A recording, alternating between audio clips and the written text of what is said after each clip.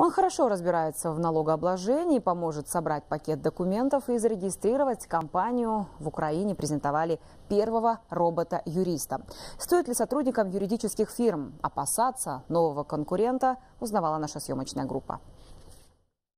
Такой сотрудник – мечта любого работодателя. Он не болеет, не ошибается, не отлучается на обеды и не просит повышения зарплаты. Над его созданием работали маркетолог, психолог и писатель-фантаст. Его зовут Бот, и он уже готов приступить к работе в любой юридической компании Украины.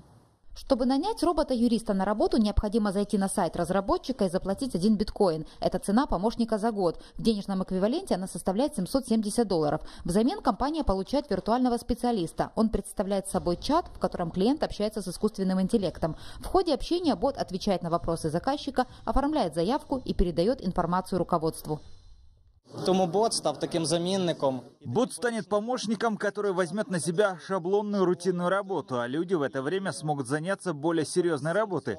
Это очень ценный инструмент для юридического бизнеса. Продукт адаптирован под украинское законодательство, но в силу схожести украинского законодательства с законодательством стран СНГ это может быть актуально и на соседних рынках. Пока бот умеет проводить только одну юридическую процедуру – регистрировать бизнес. Уже в ближайшее время разработчики обещают расширить его функционал. Эксперты уверены, через 5-6 лет роботы-юристы отберут хлеб у дипломированных специалистов. Вы уволены. К чему это приведет? Э, К сокращению количества юристов, а, ну, скажем, неквалифицированных юристов, которые делают, там, скажем, вот такую э, текущую монотонную работу.